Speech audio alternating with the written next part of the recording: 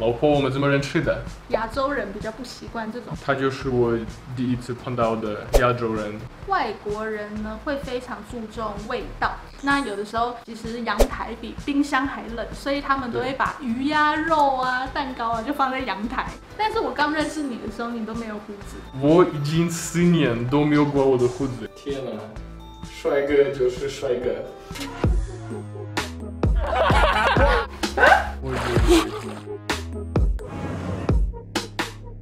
大家好，我会在。我今天准备非常特别的影片，因为我有台湾的老婆，有的人知道，有的人不知道。那时候有台湾的老婆，重点就是很多人对我们的生活很有兴趣，而且问我们很多问题。所以呢，我今天不是一个人想要拍这部影片，我今天请我的哒哒哒哒老婆来跟我一起拍这部影片。棒棒棒的索卡。结果我们两个人都要回答他们最常问的问题，我们开始吧，Let's go。第一个问题就是我们怎么认识的？老婆，我们怎么认识的？我们在美国工作的时候认识。你为什么看见到你这样子不记得吗？我会紧张嘛。你们就了吗？大家都是我们家人。我们一起参加了同一个计划。嗯那你第一眼看到我的时候是怎么样？我很清楚记得，新同事来报道，然后我看到他，看到别的台湾人，他们都看起来很可爱，很年轻。我那时候觉得你十五岁左右。那时候不是长这样子的，我是长短短的头发，有点像有一个西瓜这样子。照片照片。嗯，在那个早上，他看起来笨笨的，他是这样子。他是这样子做这样，会觉得很怕。有比较我我比较害羞。对，所以我那时候觉得他非常可爱，有点笨笨的，但是好可爱。可是我那时候只有注意到于俊。我一百九十公分。但是我注意我注意到于俊是因为他怎么可以跟你们讲俄文，然后又长得是亚洲人。于俊是另外一个人，他是乌兹别克人，他现在也在台湾。我跟他拍影片，你们可以按在那边，然后继续看他的影片。OK。你是一见钟情，你第一眼看到我就觉得。哇，这样子太爱上了。第二个问题，你是怎么追我的？你已经说我追你。是啊。还是你追我吧？你追我。第一次看到我的时候呢，他就觉得哇，这个女生真是太棒了。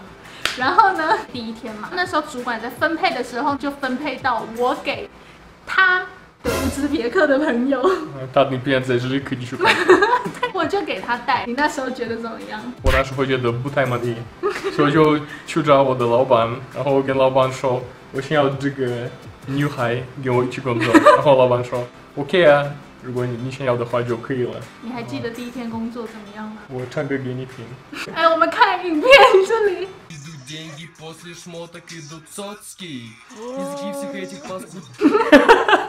他就会很主动的，看到我的时候就抱我，你记得吗？我们西方人就是比较开放的，最好是你就是喜欢抱我。是我跟朋友们也也会抱抱的，所以他每次都觉得很害羞。我抱抱他的时候，他的脸怎么好像这样？你知道吗？亚洲人比较不习惯这种肢体上的接触。以前妈妈都说牵手会怀孕，然后她每天抱我，我都很怕我怀孕。你好像怀孕好几次。我记得那时候她抱我的时候呢，她都会跟我说一句俄文，请你溜冰室，就是你爱我吗意思的。对，结果之后我问才知道，哦，原来她每次都在示爱。如果好像真的爱我。嗯，对吧，之后这个是 NLP 什么意思。你们在这可以找一下这个资料。俄罗斯人都是这样吗？追女生的时候？大部分好像是，我的部分的朋友都是比较主动。他主动到就是每天下班的时候，他会直接来开我宿舍的门，佩轩，然后我们都会被吓到。这样子让你们开心一点。我那时候为什么吸引你？最大的原因应该你那时候看起来很老实，很单纯，很单纯。对对对对对，因为单纯的人没有很多，所以觉得这个是很。特别。第二个就是我非常喜欢你的外表，他就是我第一次碰到的亚洲人，所以觉得你的外表好特别，很漂亮。哪里？第三个原因，他就是他对别人非常好，他不管大家都做好的还是坏事，他都觉得要对别人很好。对，因为现在大部分人都找自己的那个利益，所以觉得这个态度也蛮特别的。好讨我呢，所以你为什么喜欢我？很大的原因呢，就是在整个团体里面呢，都是大家很喜欢的那个人。每次工作上要分组，大家都会说哦，我要跟他一组。常常会有人说，哎，我要去找他玩，就表示说，哎，这个人的人缘很好，对人也很，所以才会这么多人喜欢他。第二个点呢，就是聪明吗？就是很有知识，好像是 知识很丰富，很喜欢学习新的东西，他的生活是有趣的。第三个就是呢，他很照顾他觉得重要的人，因为很多人都会说你在外国认识的人，他们可能就是只是一个很短暂的恋情，只是想玩玩的。可是即便我们知道，在几个月之后，我们就会各自回各自的国家了。可是我是可以感觉得到，他是很认真的，是对待我，还有就是看待这段感情的。就感觉他有本钱可以跟很多女生搞暧昧，可是呢，他不是很花心的人。You're not a playboy。嗯，看起来是。看起来是。嗯。然后看起来呢很爱玩，可是实际上他是一个做事非常认真的人。嗯。所以我喜欢这种反差萌，看到的呢跟实际上的不一样。就我们这么确认我们的关系？还没确认啊，你都没有问过我要不要当你女朋友，然后我们就结婚了。对啊，呃，亚洲人跟那个欧洲人的差别就是，如果我跟那个欧洲的女生开始那个恋爱，我不要跟她说你想不想当我的女朋友，我们好像已经知道，对不对？但是她那时候一直都说，哦，我不太确定我们是一个情侣还是不是，因为你还没有问我。情侣关系的，有点笨笨的，对不对？很多人因为是这样就会错过了，错过很多机会。这个是文化上的差异。我们回想起来啦，就是真的好像有比较确认关系，应该就是那时候有一次在公车上的时候，你怎么样？对啊。你要我给大家介绍一下？嗯。你怎么样？不是，你要你要你要表演呢。我们是在这，你就坐着很。结果是这样子。或者这样子，可是你在那边是。然后他就看着我。暗暗的，对不对？对。暗暗的，所以这样开始这样。他又开始很害羞，因为是台湾人。我们那时候又开始亲亲，对不对？不要讲，没有，就是这样子就。不是这样子。是。我给给给他给他表示这样子。下一个问题，我们有什么文化差别？有，外国人呢会非常注重味道，什么都要香香的。他们去哪里都会，不管男生还是女生，都一定会喷香水。每一天呢都会洗两次澡嘛，对，所以这个是我一刚开始觉得，哦，压力好大哦，像我每天都要香香的，而且可能一过来的时候，他就会先。然后就闻你有没有想。我我觉得我们最大的差别就是，因为我是俄罗斯人，俄罗斯的气候就是比较冷。我们吃饭之后，我们平常会把书就是留在桌子上，没有卖衣，什么都没有。因为我已经习惯了，所以我常常在台湾也会这样子。洋芋片呢，也不会盖起来，因为在俄罗斯天气很干很冷，你就算吃完洋芋片放在桌上，你两三个小时回来，它也不会坏掉。可是，在台湾，你只要放超过可能三十分钟就软。就是这样的，好烦，每次都会唠叨。哇，你为什么这个没有收起来？哦，然后呢，还有一次，他妈妈问我说：“你要不要吃蛋糕？”然后我说：“好。”然后就他妈妈从阳台。把蛋糕拿出来，嗯，这也是吓到我，因为在俄罗斯非常冷，你冬天去基本上都是负十几二十度。那有的时候其实阳台比冰箱还冷，所以他们都会把鱼呀、肉啊、蛋糕啊就放在阳台。没错没错。还有一个呢，就是外国人的毛真的很多，因为亚洲男生基本上都不太会有很多什么胡子啊，还有你看这边。会蛮不习惯的，因为你看这样子亲他的时候，都会这样啾啾，对对，就是刺刺的。然后每次跟他讲说，哎，你可以刮掉嘛，他都说不要，因为这样子比较帅，女生比较喜欢。对。但是我刚认识你的时候，你都没有胡子。对啊，我在美国没有胡子。你有没有考虑把它刮掉？刚好我今天有一个产品，你要不要？真的。好假哦！我跟你们讲，我已经四年都没有刮我的胡子，四年，知道吗？你们想看他没有胡子的样子吗？OK，Really？好。哇，这个就是我收到的产品。虽然我们今天会看到后菜没有胡子，对不对？你也是四年四年后再看，四年后再看的次。好的，就是这个东西，这个觉得很适合外国人，跟我一样有胡子的外国人。它是可以干湿两用的。这边手把的部分呢，它有做一个防滑的效果，就是如果说你在浴室有时候滴水，然后呢你就是胡子太硬了，像它一样可能抓不好，防滑呢你就可以比较不会掉。它是一个浮动的四 D 刀头设计，可以贴合不同的脸型角度。外国人的脸很长，都可以刮得到。如果今天你的脸长得很短呢，也可以刮得到。如果今天你的下巴很长，如果你今天有龅牙，如果你今天脸很胖，它呢都可以去负责得到。三 D 刀头的设计，还有一个三环安全的刀网，这边你们可以仔细看，会增加一个在脸上的接触的面积，可以有效率的呢去帮你把你的胡子除干净。它除了可以刮胡子，还可以鼻毛。我们看一下，鼻毛是这个东西，它看起来是这样。你今天要刮鼻毛吗？可以啊，我可以试试看。真的吗？我看一下，好像可以耶。然后呢，如果你想要剪头发，这个也可以用剪你的头发这样子。剪头发的功能还有三分、六分、九分都有，很方便。那你昨天才剪头发，浪费钱。对呀、然后砰！这个后面呢，还有一个可以剃鬓角的贴心的小小的设计。然后呢，这个东西也很简单洗，这个头可以换别的。所以我们等一下可以试试看剪你的鼻毛。OK。OK，let's cut it。Oh my god，我真的很久没有刮胡子了。我要试试看鼻毛，因为我从来没有做这个鼻毛，放这个鼻毛的头。哇，好，bang。OK，我们现在终于可以刮我的胡子，全部的。你们准备好了没？嘟嘟嘟，你们今天会看到新的花椰菜。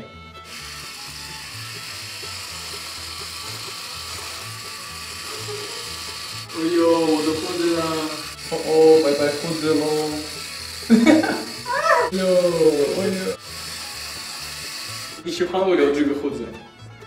看起来很棒。这个要棒吗？要 But I don't want. I like this.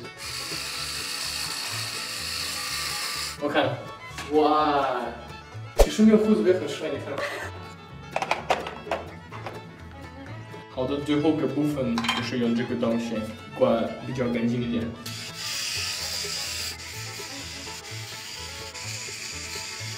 你看，天哪，帅哥就是帅哥。OK。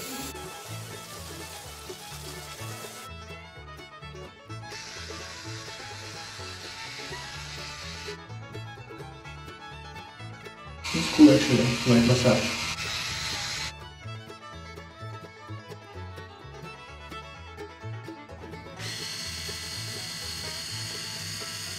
E 二三，啪！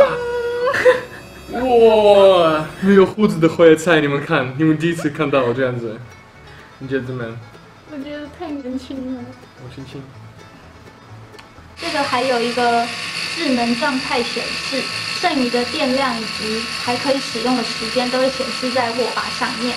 它还有一个智能锁功能，连续按三秒，二三，这边呢就会显示一个锁，再长按三秒，二三，它就会解锁。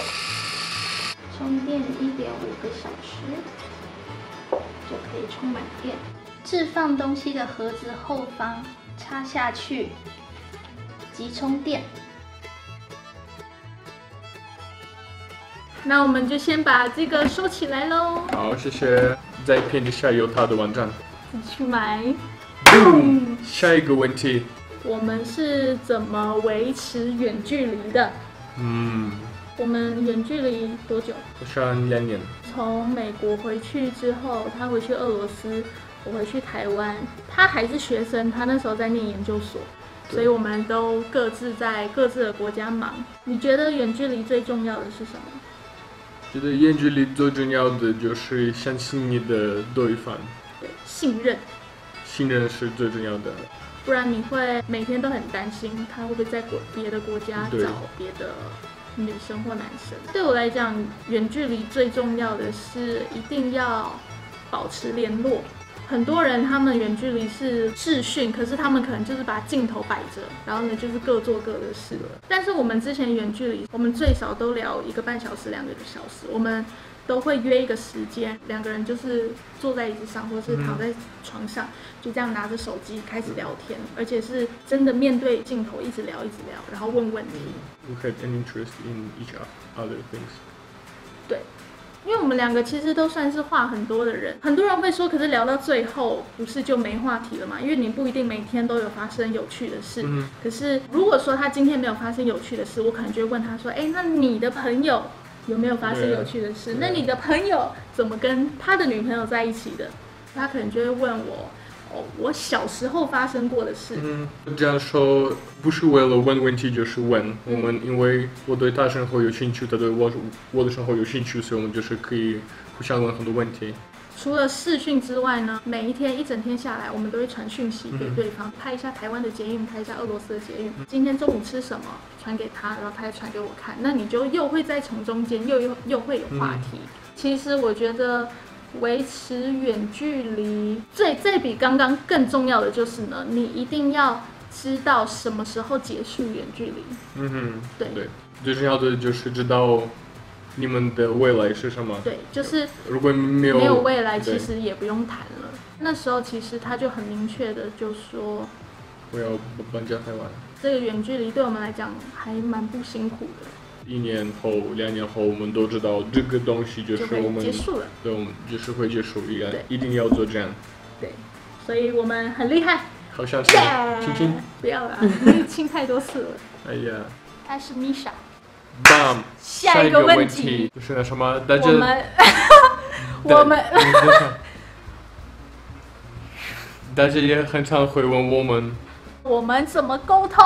我们基本上都是用英文沟通，可是英文都不是我们的母语，所以呢，其实有的时候沟通起来还蛮困难，有些很深沉的心情，还有想说的话，就没办法表达的这么好。之后他就有学了中文，现在呢也可以用中文讲话，然后我老婆也有学俄文，但是还是不会讲俄文。主要就是英文，再来就是中文。最后一个问题，我怎么跟他家人相处？我刚来台湾的时候去看他父母，如果他要离开房子，我就觉得很尴尬，因为只有我跟他爸爸这个房间。我那时候完全不会讲中文，所以我们两个人坐在一个沙发上这样子看着，不知道怎么做，很尴尬。我们都两个人都会等他来帮我们翻译一下。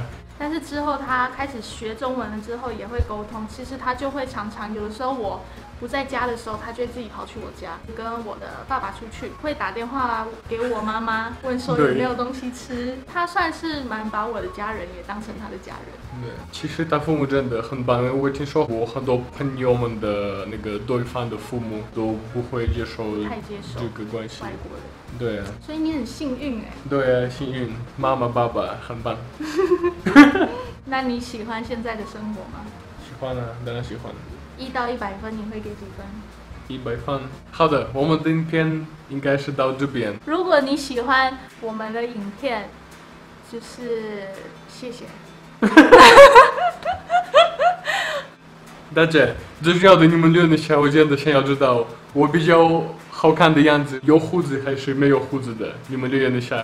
如果呢，你们还有其他的问题想要问我们的话呢，就可以在下面留言。下次我们再拍更详细的影片，跟你们讲对更多的故事。对，这样子我讲对了吗？记得订阅、按赞、追踪、分享。